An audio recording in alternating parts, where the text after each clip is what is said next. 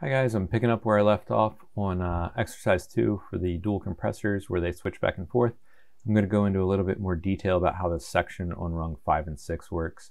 Um, so the first thing is I'm going to delete, I'm to go offline first, go offline and delete all this stuff so we can get down to just the section we're talking about.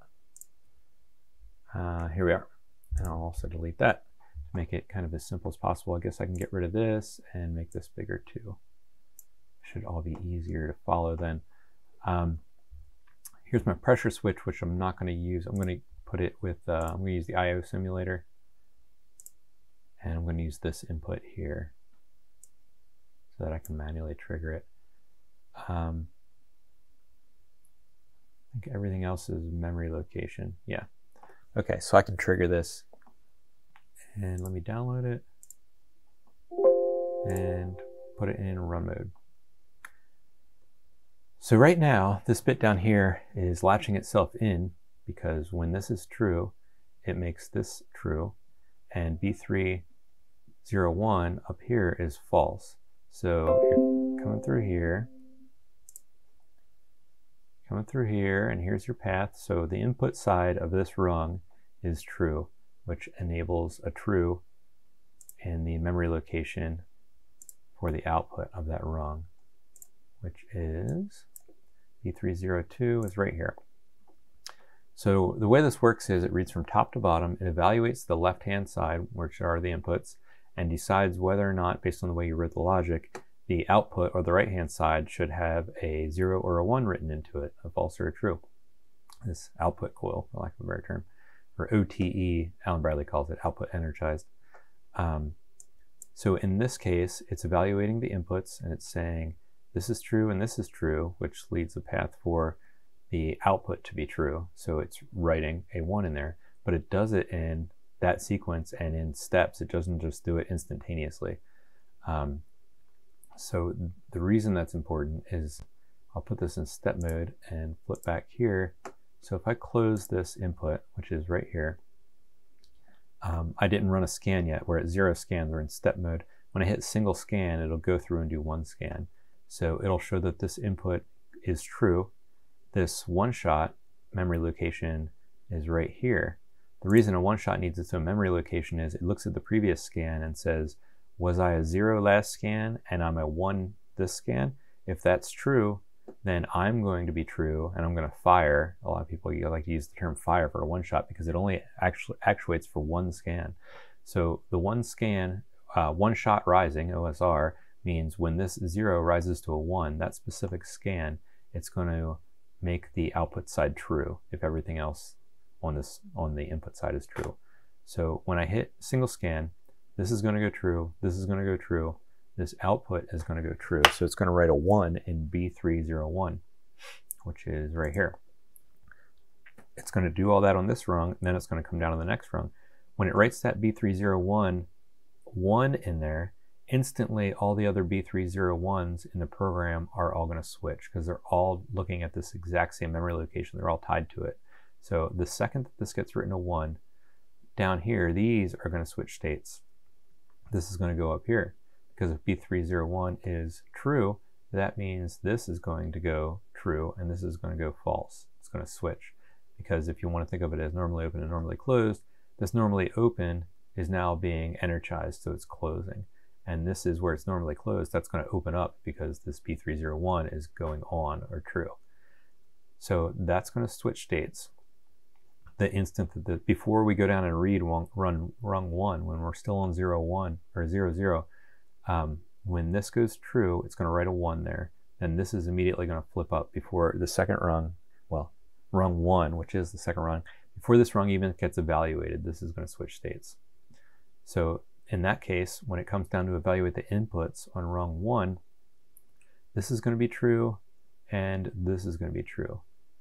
So it's going to look at that and say, the input side is telling me to make the output false because this is true and this is true. There's no path on this input side for it to get through to make, make the output true or on. So this is going to go off this or false. The, sec the time that B302, this one, when this gets changed to a zero because it was evaluated as false, this is going to flip up here and this is going to be true. So at that point, this is going to be true, this is going to be true, and this is going to be false. So because we're going to scan by scan, if we do that one scan, we'll look and we'll say this is true, this is true, and this is false or off. And it looks like there's a clear path that this should be on, but it's not going to be on. So let's see what that looks like. There you have it. So we just did a one single scan. You'll see the scan says one. This went high or true because we closed this switch. The one shot went true because it went from a zero to a one. That's B300 right here. Now it has a one in it. The last scan it was a zero. So that's going to fire and it's going to make the input side of this rung true. The input side of this rung, everything's true. It's going to make your output true, B301, which is right here. When that's true, it instantly switches this down here before it even comes down to the next rung to evaluate what's going on because they're all pointed at the exact same location in memory, everything that's addressed that same address. So this is instantly going to change before it even comes down. So now it comes down here, it reads this, and it's already scanned all the way through, but at the point when this got flipped and it came down to evaluate this side, the B302 down here was true. So this was on and this was on. So there wasn't a way for this to be energized. So it turned off. The second this went false, it flipped this back up to here. So this, the last part of reading this rung is to update the outputs. When you update this output 302, which is right here, to false, you don't go back and reevaluate the beginning of the rung. You move on to the next rung, which is the end rung. And then the next rung up here is going to be this. But in the meantime, the input side of this rung is saying that you have the ability to energize the output, but the output's not energized because it evaluates this first, decide, evaluates the inputs, and it decides based on the logic if the output should be true or false. It updates the output, and then it goes to the next rung. It doesn't update the output and then go back and re-look at the, the beginning of that same rung. Um, it just moves along. And you can do that because the cycle, um, the scan cycle is so fast that it's like imperceivably fast when it happens. You don't see it. Um, and it usually is not an issue because you're doing, you know, what, tens or hundreds of thousands, hundreds or thousands of scans, you know, per second. It's flying through here. So it's like imperceivably fast.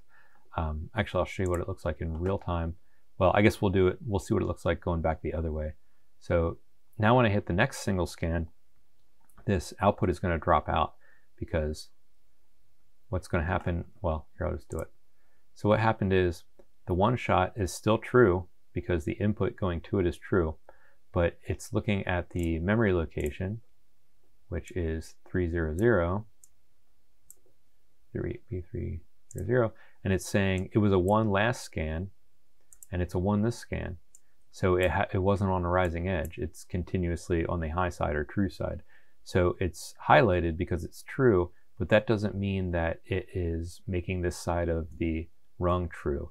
So you'll see that both of these are highlighted, but the output's not on.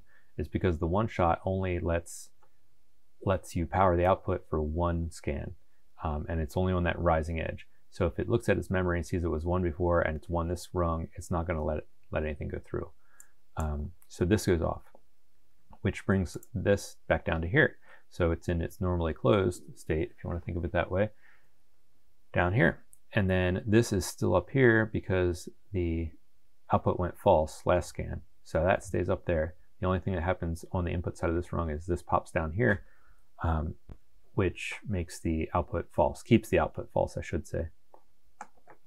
So to look at this in real time, let me switch back to my inputs here.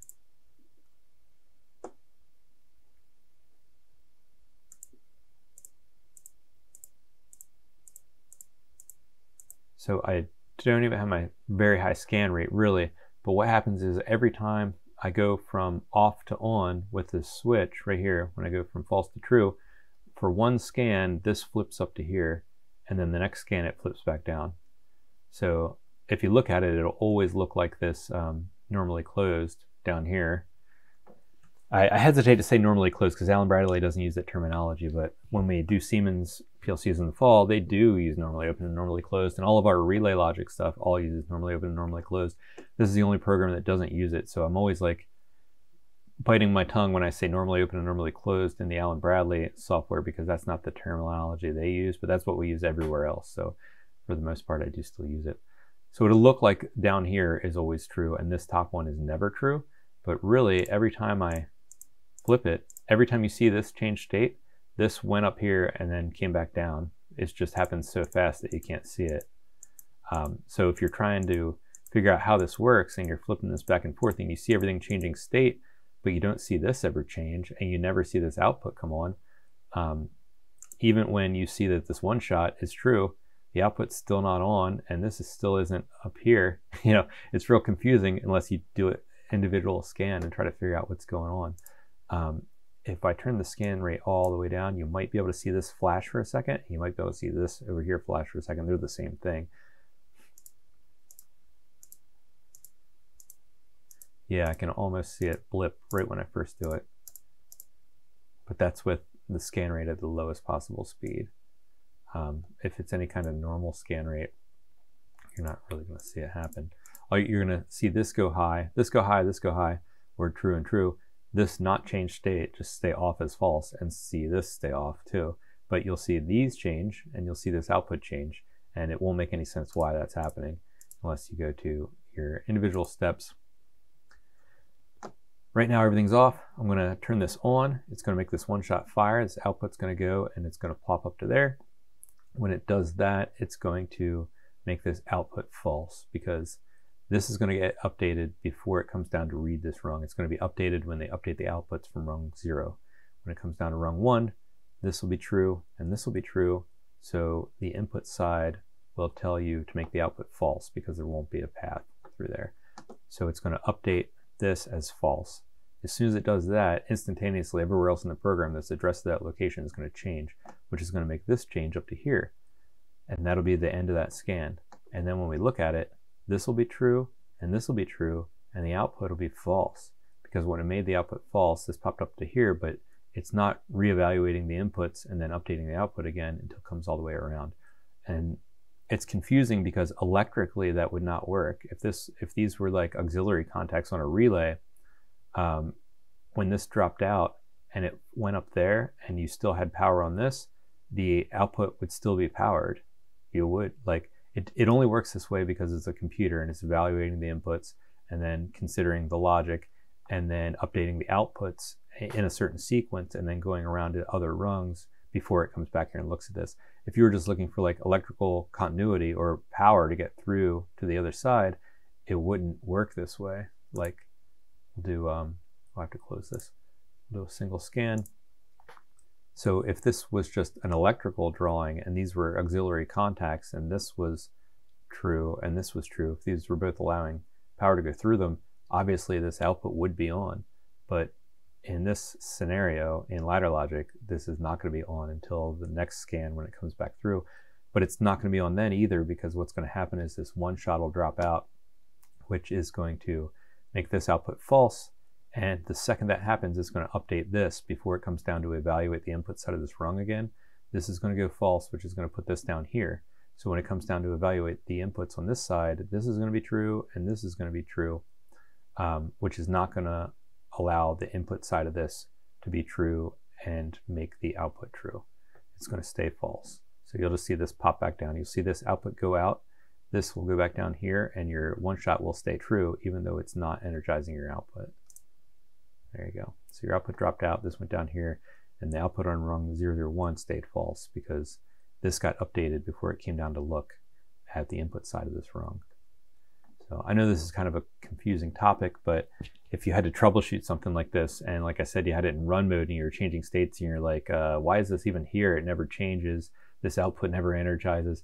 It does. It's only happening for one single scan um, you'll see everything else change, and it, can be real confusing if you don't understand the process of the uh, the order of operations. What's even more confusing is the when you get up to ControlLogix and RSLogix 5000 and um, RSLogix Studio and all that, they have a different order of operations that's not the same as this. So this is true of RSLogix 5 and RSLogix 500, um, but not true of newer versions. They're a little bit different. So it's all of it's confusing, but hopefully this clears up some of the issues.